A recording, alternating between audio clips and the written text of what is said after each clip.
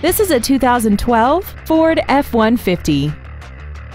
This truck has an automatic transmission, a 3.5-liter V6, and the added safety and control of four-wheel drive. All of the following features are included. Traction control and stability control systems, side curtain airbags, door reinforcement beams, and an auxiliary power outlet.